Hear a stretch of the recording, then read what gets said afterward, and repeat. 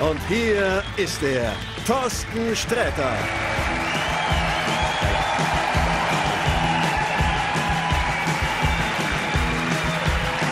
Ja. Danke. Danke. Ja. Nein. Ja, danke.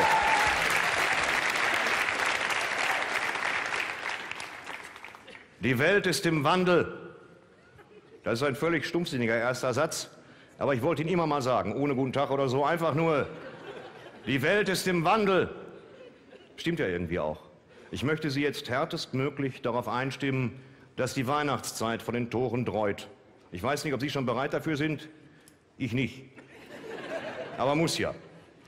Deswegen haben wir tatsächlich auch Kunstschnee im Studio. Ich habe allerdings dafür gesorgt, dass er in den Säcken bleibt. Das geht mir nämlich auf die Fackel hier. Ja, was willst du machen? Außerdem werden wir gelegentlich völlig sinnlos eine Schlittenglocke einspielen, nämlich so. Das gibt Stimmung. Ho, ho, ho. Außerdem riecht es nach gebrannten Mandeln. Also nicht hier, aber irgendwo bestimmt. Naja, wenn Sie ein Fan davon sind, auf dem Weihnachtsmarkt kochende Beize in schicken Tassen wegzukübeln, meinen Segen haben Sie, geben Sie alles. Wir werden dieses heimliche Feiertagsgefühl hier voll bedienen, obwohl mir jede Erfahrung dafür fehlt. Immerhin kann ich O Tannenbaum singen, aber das kann ja sowieso im Prinzip jeder. Ist das simpelste aller Weihnachtslieder. Ich erinnere mich mal aufgestoßen zu haben und sogar das klang vage wie O Tannenbaum. Da. Was? Ja. Da stand ich in der Betriebskantine und es war Juli. Trotzdem sagte ein Praktikant, wie grün sind deine Blätter. Ich gebe mir, es ist wahr, ich gebe mir jedenfalls Mühe. Ansonsten werden wir in dieser Folge meiner kleinen dubiosen Show hier so richtig gemütlich zugange sein. Mit Gästen, so gut und schön, dass einem das Herz aufgeht. Das ist irgendwie auch eine unappetitliche Formulierung, finde ich. Das hat meine Oma immer gesagt. Da geht einem das Herz auf. Warum, Oma? Die Welt ist im Wandel. Ich schweife ab. Ina Müller ist hier. Ina Müller. Und Ingo Naujoks ist hier. Herzlich willkommen zu Sträters Männerhaushalt.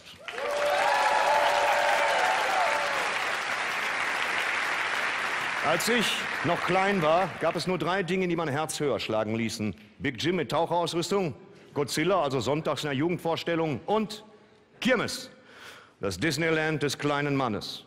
Das Herz und die Seele einer Kirmes ist der Autoscooter, unverändert seit vielen Jahrzehnten. Hier, wo selbst Sechsjährige am eigenen Leib erfahren können, wie es sich anfühlt, auf der A4 in den Gegenverkehr zu kommen. Ein Spaß für die ganze Familie. Und doch stecken die Betreiber dieses wunderbaren Fahrgeschäfts in der Krise. Und wen ruft man da?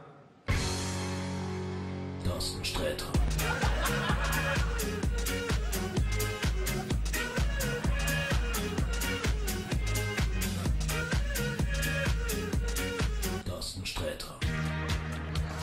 Herr Petter läuft nicht mehr so, ne? Nein, seitdem der Euro da ist, läuft er nicht mehr so. Das ist natürlich nicht schön.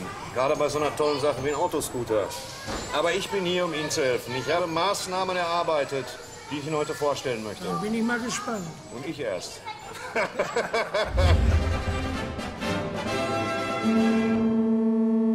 Mir war so weh, so weh, als müsste die ganze Welt in Grau vergehen. Weil mir vom Hügel eine Dirne die letzte blasse Rose stahl.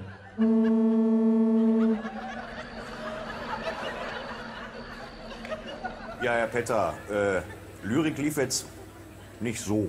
Es war auch scheiße. Wieso gehen wir nicht her und erschließen uns von vornherein die kaufkräftigste Schicht von Menschen, die wir in diesem Land haben? Passen Sie auf, zeige ich Ihnen. Super Ding. Die nächste Fahrt ist nur für Senioren. Ich wiederhole, nur für Senioren.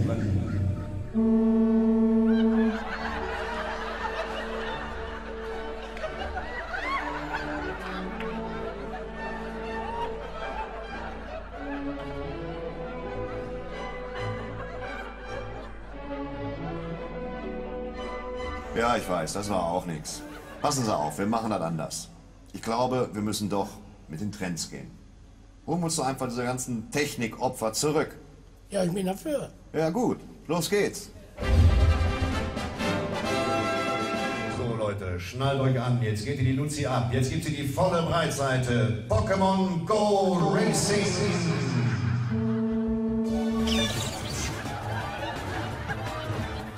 Ihr müsst die Chips einwerfen. Die Chips müssen eingeworfen werden. Werft die verkackten Chips ein. Du, gut. So, das macht Spaß, das gefällt. Und die nächste Runde ist nur für Clowns.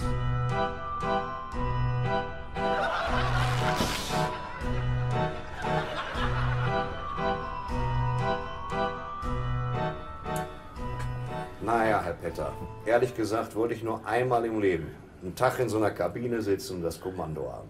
Das habe ich mir fast gedacht. Und es war toll. Vielen Dank, Herr Petter. Dankeschön. Hör mal, kannst du mal was vom Bushido spielen oder was? Nee, schieb ab.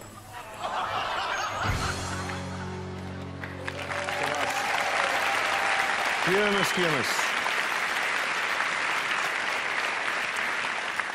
Autoscooter machst du auch viel zu selten. Reden über Sachen, die überschätzt werden, oder? Oder unterschätzt. Macht man sich ja oft nicht klar, aber selbst zu Weihnachten, dieser emotionalsten Zeit des Jahres, gibt es Dinge, die mich tierisch nerven. Zum Beispiel Weihnachten. Ja, genau. Jedes Jahr kramen wir um diese Zeit ganz tief in der Gewissenskiste, zerren unsere Lieblingstugenden ans Tageslicht und präsentieren uns damit von unserer besten Seite. Dabei funktioniert Barmherzigkeit auch bei 30 Grad im Schatten. Am Pool mit Flipflops. Oder Demut, auch im Frühjahr ein Hit. Und Menschlichkeit erst, die funktioniert sogar das ganze Jahr über. Krass. Mehr Beispiele? Gerne. Hier also überschätzt, unterschätzt.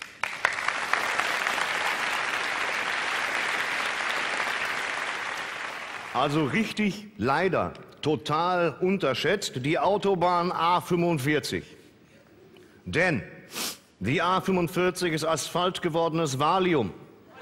Nahezu gerade und nachts kaum befahren ist die Strecke auch was für Leute mit Sekundenschlaf. Ja, Radio an, Sitz bequem eingestellt, zack ist man weggepennt und keiner sieht's. Oft nickt man ein, erwacht dann wieder und staunt plötzlich, hui, ich bin ja schon am Kreuz Witten. Man muss, ja, Man muss natürlich ab und an den Wagen neu lackieren, ist aber immer noch besser als Zugfahren. Ich sehe beim Schlafen nämlich immer so unvorteilhaft verstorben aus, so. Ja, das mögen Sie lustig finden, aber wer jemals im Bordrestaurant davon wach wurde, dass dir einer den kalten Defibrillator auf die Brust kloppt, weiß, wovon ich spreche. Das ist wirklich so. Weißt du, die Leute, wir holen ihn jetzt zurück und du so, hey, sind wir schon in Köln? Die erschrecken sich ja. Naja. Auf der A45 passiert einem das nicht. Und wenn man sich mal mit Kaffee wach hält auf der Strecke, kann man auch die Schattenrisse wunderschöner Ortschaften erkennen. Wie Lüdenscheid. Meine Oma konnte kein Ü aussprechen und sagte immer Ludenscheid, so dass ich lange dachte, da wohnen nur Zuhälter, aber ist natürlich Quatsch. Deswegen A45, du Seitenstraße unter den Autobahnen, du bist sowas von unterschätzt. Hammer.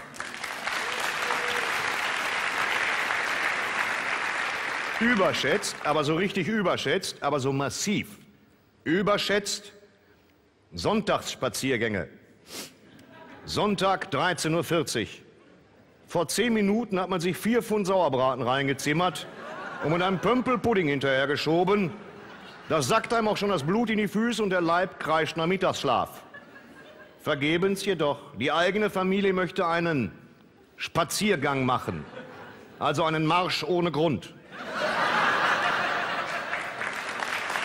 Ja. Sich die Beine vertreten, frische Luft schnappen. Da kann man jetzt dozieren, wie man will. Zum Beispiel, dass Beine gar nicht vertreten werden wollen. Man kann Menschen vertreten bei Terminen oder so, Beine aber nicht. Und dass man frische Luft auch nicht draußen schnappen muss, weil die Luft von selbst reinkommt, wenn man das Fenster auf Kippe macht. Logik. Funktioniert da nicht. Also rein in die Jacke mit der Klimamembran und ab in die City. Jetzt wohnt man leider nicht in Florenz. Und so gestaltet sich der Marsch eher reizarm. Vorbei an den Umspannungskästen mit aufgeklebten Flyern für eine Amigos Coverband passieren wir die geschlossene Eisdiele, den geschlossenen Schuster und das seit 1482 in Familienbesitz befindliche und außerdem sehr geschlossene Sanitätshaus sehen mehrere Gruppen Hundehaufen, die wie eine Art Mini-Schlumpfhausen wirken. Und man hört sich selbst harmonisches Geseiere absondern wie was ist hier luftfrisch? Und guck mal, der Rossmann hat auch zu.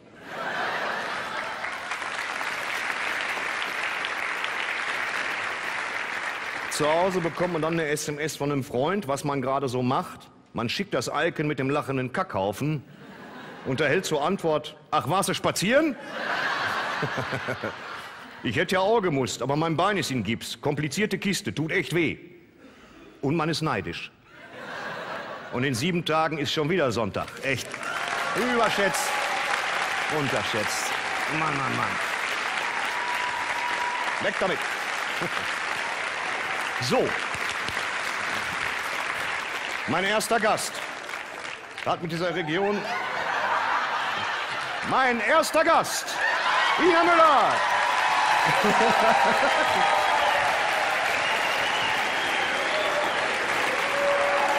Komm schon. Echt doch, was? Ja, das läuft hier einfach. Läuft. Schon, ja, ja. Setz dich. Mein Oberhausen! Ina Müller. Ich mag die so. Komm, sitz. Oh nein. Setz dich doch. Ah. Auch für mich ein souveräner Moment. Schön, dass du da bist. Guck mal, Und wir man sehen möchte beide. gleich wie zu Hause. Ja, dann weißt mach du, das so. bitte.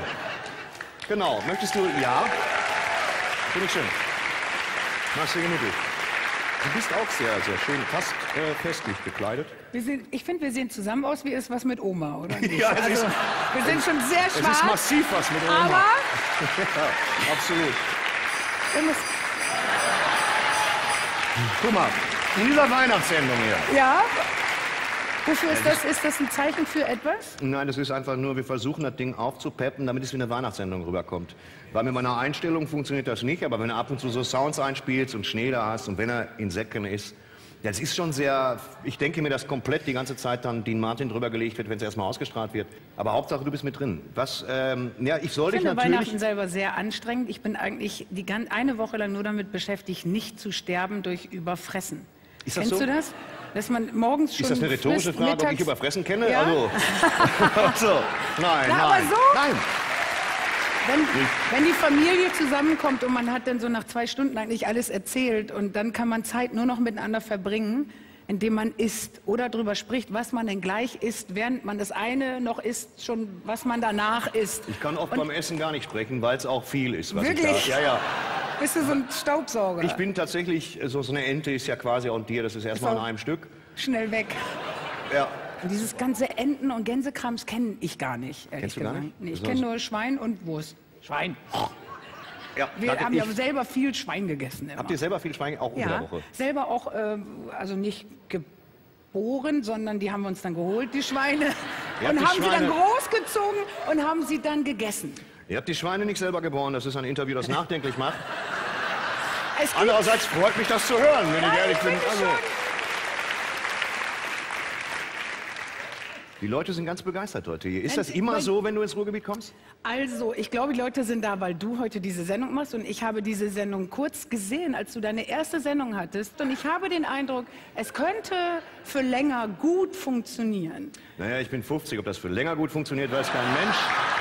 Aber lass uns trotzdem über das Ruhrgebiet reden. Ich habe Lust, über das Ruhrgebiet zu reden. Ach, aber ich bin ja, ich kann ja auch nichts anderes. Ich kenne zwar Hamburg, aber Ja. nicht so gut wie du. Gibt es Unterschiede zwischen Hamburg und Ruhrgebiet? Jetzt aus dem FF? Sowohl Hamburg als auch Ruhrgebiet hat so Stellen, wo man nicht weiß, ist das noch zerbombt oder ist das schon wieder Ja, das oder ist, ist, es schon wieder so weit? das ist im Zweifel immer nicht. gewollt, weißt ja, du? man weiß immer Ja. nicht. Das ist mir aufgefallen. Duisburg, größter Binnenhafen. Ganz gut, was mir gerade einfällt. Das ist ich. Duisburg, Duisburg? auch hässlichster Binnenhafen? Ja, ja, ja. hätte ich jetzt nicht gesagt, aber Ja, ist nicht das so ist schön. aber das ist immer eine noble Geste von dir Trotz als Hamburgerin zu sagen. Duisburg größter Binnenhafen, da gehört schon was dazu. ich Also finde, das hört sich toll an. Also ja, man versucht einfach nur schnell Sachen da wegzuschaffen. Das ist es, aber das ist ein schöner Hafen letztendlich. Und Fußball natürlich. Rot-Weiß Oberhausen ist schon da. Schnü Sch Schnüff ist schon mal vorgegangen, da wo Hamburg gerade so auf dem Weg hin ist, glaube ich. Und zwar sowohl St. Pauli als auch HSV. Ich mag, äh, also ich muss sagen, ich bin kein großer Fußballexperte. Wenn ich irgendwo rot-weiß sage, kriege ich eine Pommes. Aber es ist tatsächlich, es ist so. Na, aber es hieß immer, also ich glaube, dass äh, St. Pauli hat, glaube ich, die leckerere Wurst Haben Sie? als HSV. Ja. Jetzt ja. Also ich glaube, andere haben noch leckerere Würste, aber man, man munkelt, äh, Das Pauli, Zitat die will ich nicht aus dem gerissen sehen. Erzähl mal weiter. Beide Würste habe ich probiert und ich konnte weder Unterschied noch ähm, Vorteile äh, feststellen. Apropos Wurst, komm mal mit Du zu mir beim Tresen. Ja, ich möchte mit dir was. Komm mit. Ja, komm. Komm mit mal rüber. Wir haben Als Typ, weder, ja, das ist total abartig. Wir haben weder Kosten noch Mühen gescheut.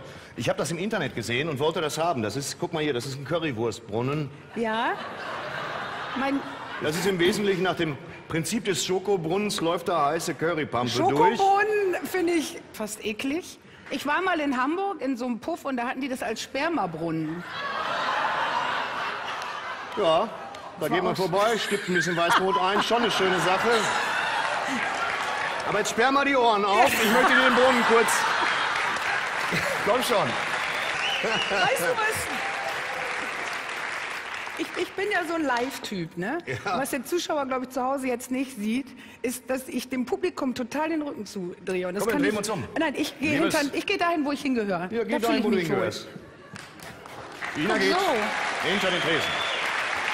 Dann stelle ich mich hier hin. Hier Komm. ist es einfach schön. Ist das gut? Ja.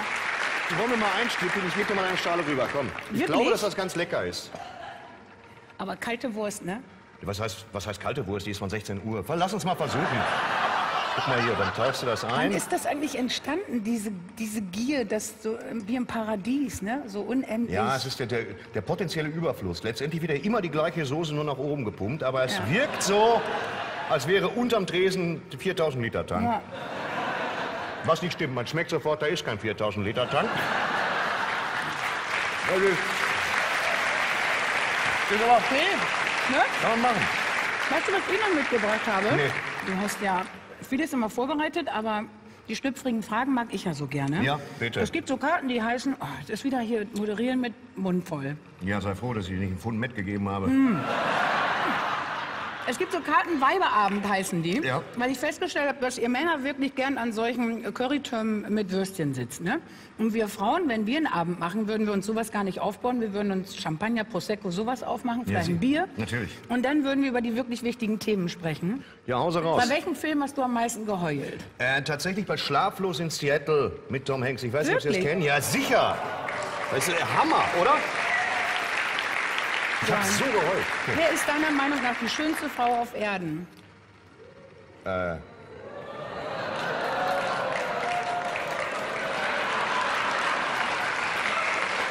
Das ist. Die schönste Frau auf Erden ist tatsächlich meine Mutter, die vor drei Jahren gestorben ist. Und mit jedem Tag, die sie nicht da ist, wird sie schöner. Für mich. Das ist so, ja, tatsächlich. Das ist immer, habe ich. Kann man nicht. Wenn du, wenn du an einem FKK-Strand landen würdest, würdest Hubschrauber, du, oder was? Nein, würdest irgendwie landen würdest. Also landen, okay. Entweder durchs Wasser oder Ja. egal wie. Würdest du dich da ausziehen? Nein, es würde so laufen, dass ich mich in die Mitte stelle und sage, zieht euch was an, ihr Affen. Ihr Schweine. Weil das ist, ja. ich glaube, ich sag, Wenn dich deine Freundin mitten beim Sex deines Lebens drum bitten würde, wie ein Hund zu bellen, würdest du es dann tun? wenn mich irgendjemand bitten will, äh, dass ich wie ein Hund bälle, kann er direkt Sex mit dem Rottweiler haben für mich. Also ich würde sagen, bevor ich bälle, holst du erst mal ein Stöckchen, weißt du? Ich würde sagen, es reicht. Ich finde auch, das ist mehr als genug, meine Liebe. Ich habe noch ein Geschenk für dich. Kommst du noch einmal rum oder ich komme zu dir? Aber setzt du mir Lass- die jetzt auf? Nein, deine Haare sind so toll, das mache ich nicht. Äh, wollte Aber ich- komm mal zu mir rüber. Gut, dass du es sagst, sonst hätte ich das wir müssen uns gesagt. jetzt leider verabschieden, aber diese Mütze will ich dir auf jeden Fall noch schenken. Liebe Ina, Ja? schau dir diese Menschen an, sie sind ergriffen und begeistert. Die Und ich sind sage ganz toll. tausend Dank, dass du da warst. Ina Müller, nimm deine Mütze aber bitte mit. Gerne. Wir sehen uns gleich noch. Bis gleich. Viel gleich. Spaß. Ina Müller.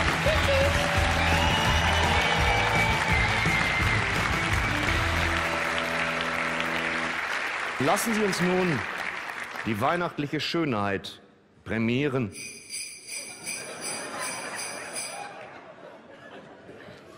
Ja, ganz richtig. Denn falls Sie es noch nicht gemerkt haben, diese Folge ist überaus festtagsorientiert.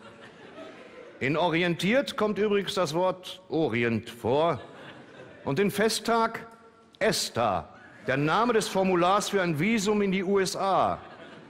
Erschütternd. Das Wort festtagsorientiert birgt also derartig viel politischen Zündstoff, dass einem ganz mulmig wird.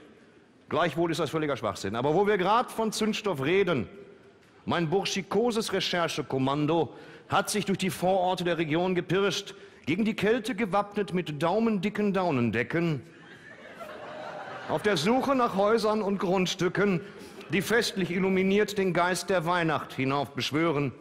Mehr oder weniger Zeit, dieser Kunstform den nötigen Respekt zu zollen. Und deshalb hier nun die schönsten Weihnachtshäuser aus der Region. Platz 3. Die Glühweinfabrik vom Nikolaus.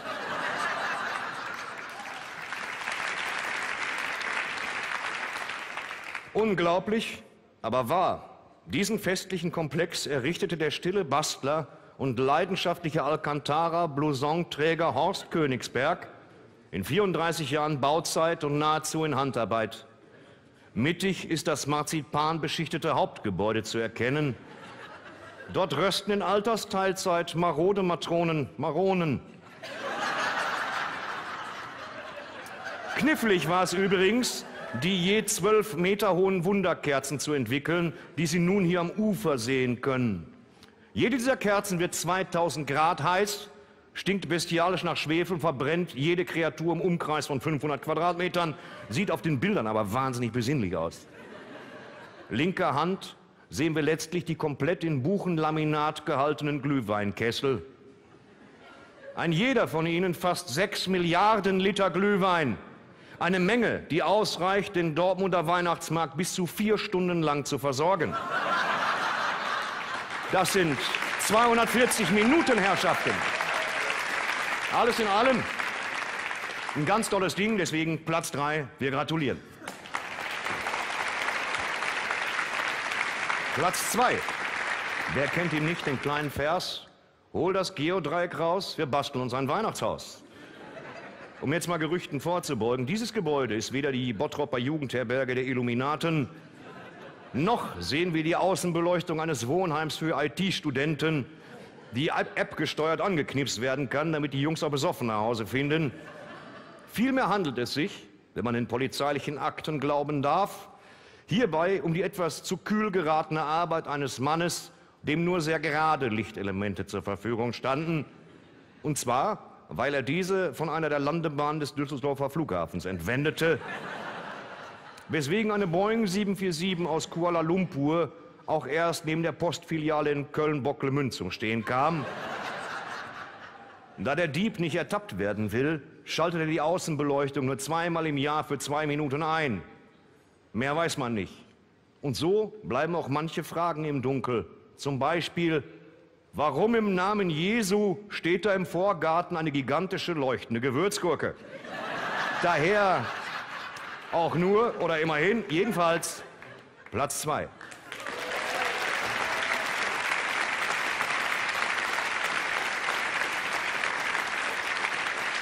Platz eins.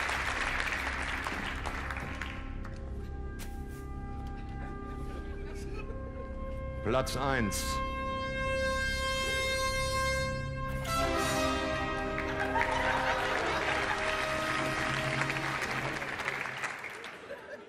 Hier eine Arbeit der Familie Hempelsmeier, die innerhalb Gladbecks einen Ruf wie Donnerhall genießt. Dekoration ist ihr Steckenpferd und niemand in der Gemeinde ist festtagsaffiner. Deswegen versammelt sich die Hempelsmeier-Dynastie jedes Jahr zum ersten Advent voller Inbrunst um den gekachelten Wohnzimmertisch.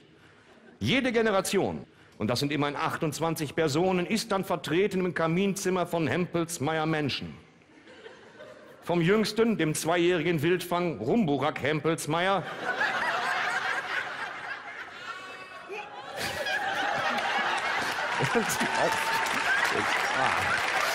Bis, bis zur, bis zur 104-jährigen Matriarchin der matronenhaften Sue Ellen Hempelsmeier, geborene Loderbock Hansen, verwitwete Scharbeutz. Und dann wird in die Hände geklatscht und gesungen, um schließlich, so zur neunten Stunde, abzustimmen und festzulegen, welches Familienmitglied frohlockend obsiegt, wenn es auch dieses Jahr wieder heißt, wer kloppt dieses Jahr die leuchtende Strippe ins Gebüsch? Platz 1 geht ganz klar nach Gladbeck. Und das mit den besten Wünschen. Vielen Dank. So. Jetzt vernünftig. Haben Sie Lust, was zu lernen? Gut. Als Epizentrum dieser Fernsehshow verspüre ich nämlich das Bedürfnis, meinen Zuschauern etwas mit nach Hause zu geben. Etwas von Wert. Etwas, das ihr Leben bereichert. Etwas, das bleibt. Ich rede von einer Fähigkeit. Oder wie die Jugend heutzutage sagt, Skills. Etwas also, das in unsicheren Zeiten wie diesen lebensentscheidend sein kann. Und ich meine schon die Erkenntnis, sich nicht mit der Brotschneidemaschine zu rasieren, kann sich ja positiv aufs Gesamtbefinden auswirken. Oder nehmen wir mal sowas wie, na komm, ich sag mal irgendwie eine Hausnummer, Koffer packen.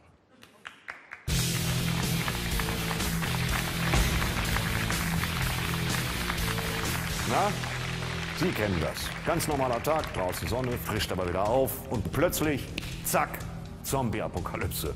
Erste Direktive in diesem Fall, Ortswechsel. Mit anderen Worten, Kniegas geben. Aber vorher packen wir unseren Koffer. Und zwar so, dass alles unzerknittert ankommt. Los geht's. Sie brauchen Seidenpapier. Knitterfalten entstehen durch Reibung. Seidenpapier reduziert diese. Schmiergelpapier nicht. Auf den Kofferboden kommt das schwere Zeug. Also Schuhe, die Gutenberg-Bibel oder wie in meinem Fall die Kulturtasche und meine Lederjacke. Obendrauf Seidenpapier. Falls Sie im Zombie-Apokalypsen-Krisenstab der Kanzlerin sind, sollte Ihre Hose so wenig knittern wie möglich. Sie achtet auf sowas. Wir platzieren die Hose mittig und lassen den Bund und die Beine raushängen. Und mitten da rein äh, Seidenpapier, darauf jetzt die Hemden. Oder, wie in meinem Fall, T-Shirts. Es soll ja Leute geben, die haben ausschließlich 20 Kilo Seidenpapier im Koffer. Da knittert dann gar nichts mehr. In die Lücken des Gepäcks werfen wir Socken, Unterwäsche und unsere gerollte Jeans. Jeans können das nämlich ab. Jeans können alles ab. Sogar den Arsch von Ronald Pofalla. Und nun haben wir eine ziemlich knitterarme Klamotten, Seidenpapierlasagne im Koffer. Einfach jetzt zumachen das Ding und bon voyage. Das restliche Seidenpapier geht für das Handgepäck drauf. Denn wie sagte schon Stephen King, don't leave home in a Zombie-Apokalypse without it. Fassen wir zusammen. Koffer packen ist ein bisschen wie Bundeskanzlerin sein. Schwer starten, nach oben in alles leicht nehmen, Reibung vermeiden und dann einfach zumachen. Ist zwar gehässig, war eine super Eselsbrücke. So, und jetzt du. Ja.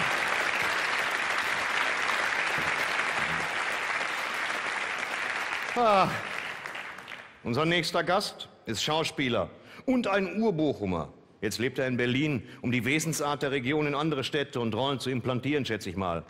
Jedenfalls habe ich immer das Gefühl, dass er bei aller Wandelbarkeit den Geist des Ruhrgebiets trägt, wie eine alte Lederjacke. Also, klarer Fall von guter Typ. Hier ist Ingo Naujoks.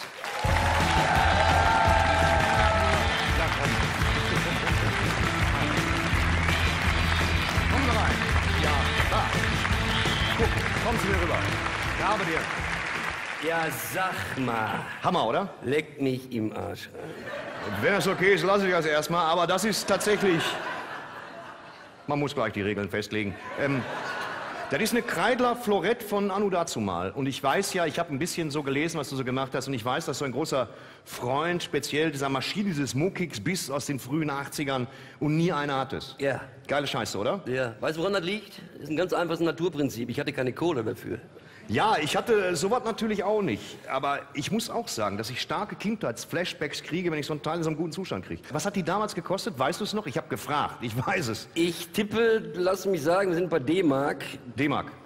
2800 bis 3000. Ziemlich genau. Ja, dreieinhalb oder so. Drei Drei, bis dreieinhalb. Also D-Mark. So, weißt du, was das Teil heute wert ist, wenn er es jetzt so vertickst, so wie es ist, mit so ein bisschen Anbauele? Wie viel? Ich habe gefragt. Euro. Euro. Euronen. Lass mich sagen 10. Zwölf. Zwölf? Ja, Zwölf? ehrlich jetzt. Zwölf? Für dieses... Unfassbar, aber es ist tatsächlich wahr. Willst du einmal anschmeißen? Ich muss, vor, ich muss vorne mal gucken, Leute. Ich muss vorne mal gucken. Auf dem Tacho steht, ihr werdet nicht glauben, auf dem Tacho steht 140. 100 ja, Kilometer. Ach so, ja. nein, es steht doch tatsächlich. Guck mal, 159 ist das Ding nur gelaufen. Nein, ich meine Und 140 km/h. Schafft er nicht. Haben wir damals gesagt, Schafft er nicht. Das war nur so Kackenhauer, damit du an der Tankstelle sagen konntest, guck mal, fährt 140 im freien Fall. Aber das ist ja nicht gewesen so. Aber schnell waren die trotzdem. Und wichtig ist ja die durchgehende Sitzbank für die Mädels hinten. Das war ja wichtig. Ja, ja, klar. Das aussieht wie ein, wie, eine, wie, wie ein riesiges Motorrad. Wir müssen zuerst mal Du musst den Benzintank aufdrehen. Richtig. Den Benzinhahn. Das heißt, in den Vergaser fließen Gang raus, Digga. Gang, raus. Gang ist wohl raus. Jetzt mach du. Ich mach nicht. Nee, ich will nichts, setz du dich drauf. Ich mach den Gang raus, du setzt dich drauf. Okay. Ich möchte die erste Reihe schon mal vorwarnen. Es wäre gut, wenn Sie gleich nach links und rechts.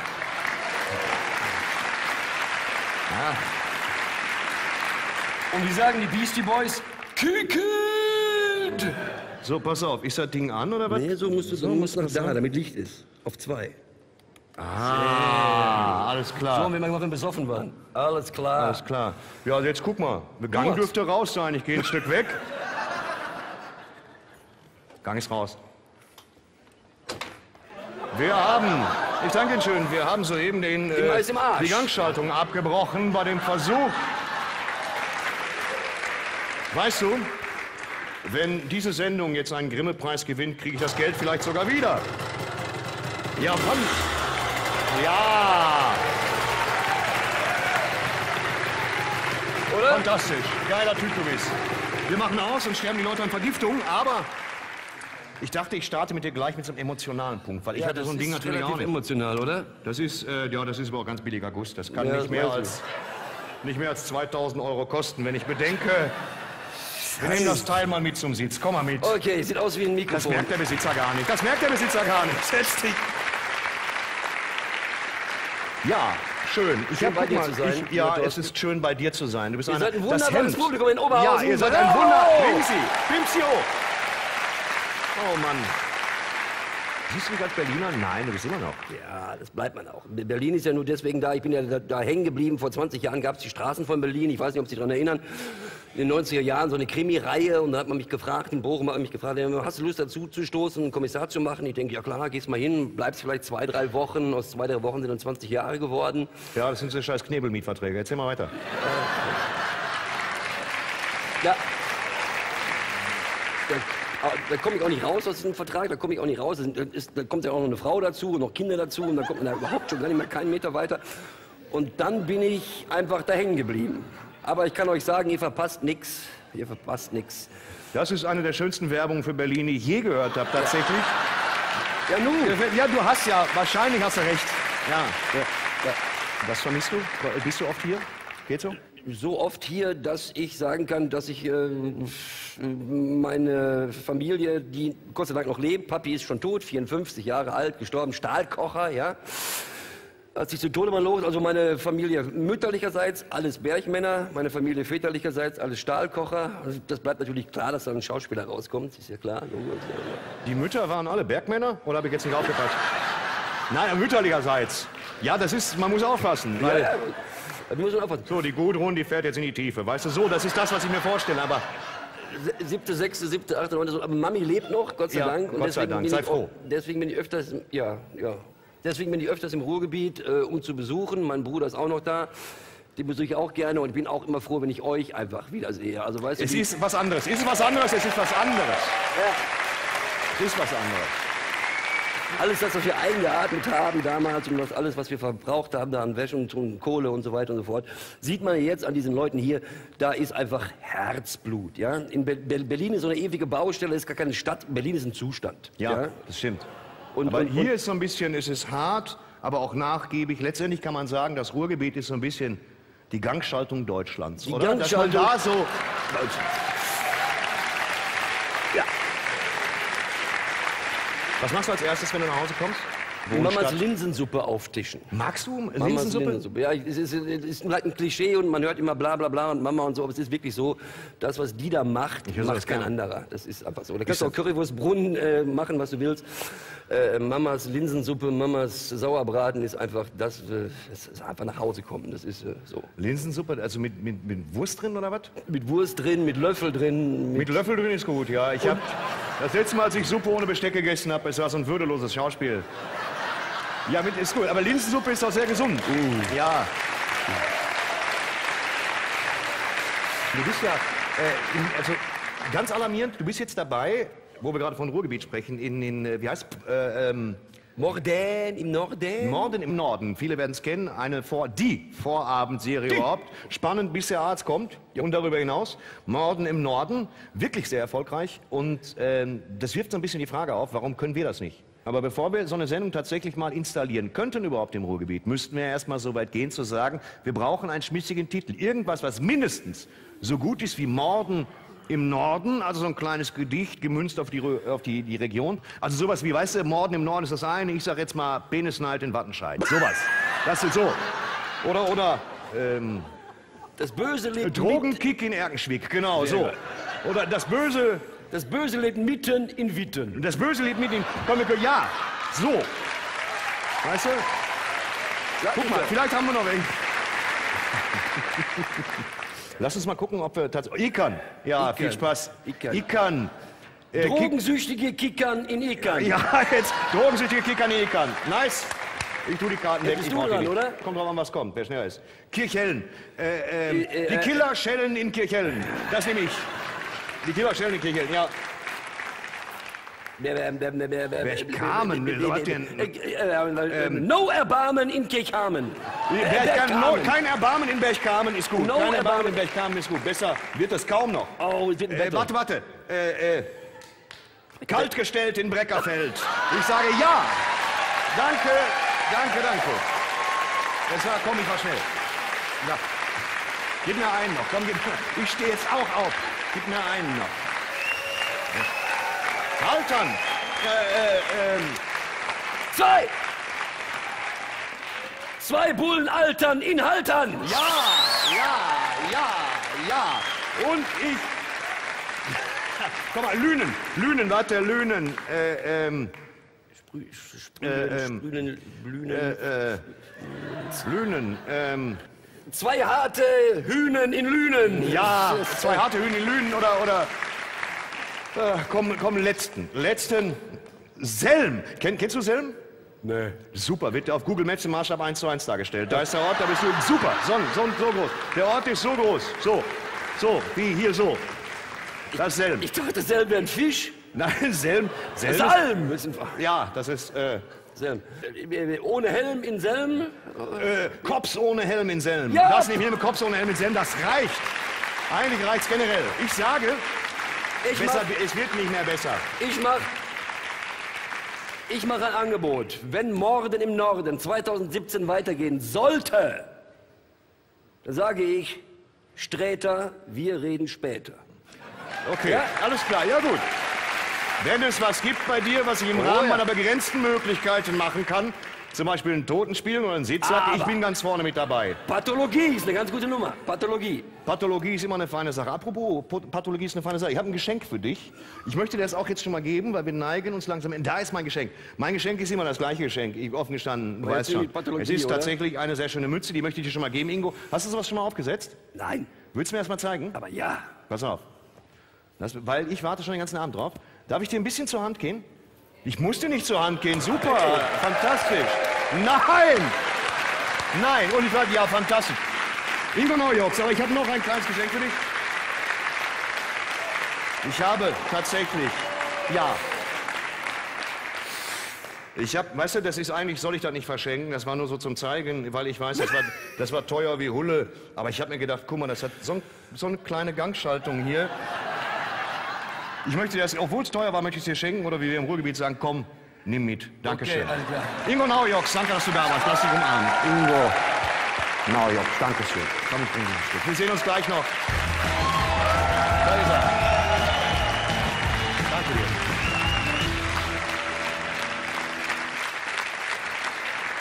Ah. Und nun wird es wieder Zeit, sich ums Feuer zu versammeln, aneinander zu kuscheln und uns klarzumachen, dass wir uns, wie gesagt, ums Feuer versammeln. Was nicht gut ist in einer Dreizimmerwohnung, denn der Teppich brennt. Aber sei es drum, hier, ihr Kessen, Gören und Lausbuben, Literatur zur Nacht.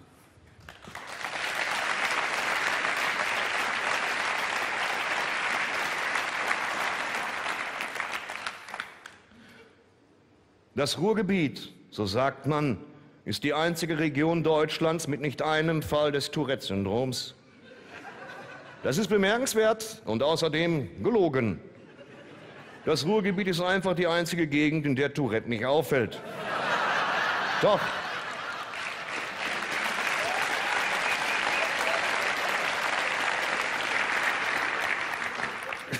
Doch bei aller Rauheit, lachen Sie nicht, doch bei aller Rauheit sind wir auch sehr emotional. Und speziell in der Vorweihnachtszeit gedenke ich sehr oft meiner Oma. Meine Oma hatte eine sehr sonderbare Vorgehensweise, mich zum Einkaufen zu schicken. Wenn ich als Kind bei ihr zu Besuch war, nahm sie mich gern zur Seite und sagte, Junge, du kannst jetzt erstmal auf den Spielplatz, aber lauf bitte später wacker zum Bäcker und hol mir ein frisches Brot. Das musst du so sagen, ne? ein frisches Brot. Oma ließ mich eine halbe Stunde spielen und dann rief sie mich vom Balkon aus, dem vierten Stock. Eine Art Muezzin im Kittel. Ja, wirklich. Zeit. Zeit für die Geldübergabe. Zum Spielen hatte ich das nicht mitnehmen dürfen. Ich schätze die Gefahr, dass ich die ganze Knete in einem Amsterdamer Puff durchbrachte, war einfach zu hoch. Oma dann, Thorsten? Jo, ich werf dir das jetzt runter. Und dann kam ein Projektil aus eingewickelten Münzen aus der vierten Etage heruntergeschossen. Zu schnappen gab's da nichts. Die Wiese vorm Haus war immer voller Krater. Hätte ich einmal versucht, das zu fangen, ich wäre heute nicht hier. Stattdessen hätte da eine Stunde später ein Team von CSI Wattenscheid um mich gestanden. Der eine Kopf hätte dann gesagt, das ist glatter Durchschuss. In, in die Stirn, Austrittswunde, Hinterkopf. Und der andere Detective würde nicken und sagen, ich kenne das Kaliber. Das sind 1,80 Mark in Butterbrotpapier. Die Summe reicht exakt für ein frisches Brot. Da müssen wir ansetzen. Naja. Naja. Kurz vor Weihnachten. Meine Oma fehlt mir halt. Es geht eben nichts über die Familie. Ja, genau. Frohe Weihnachten.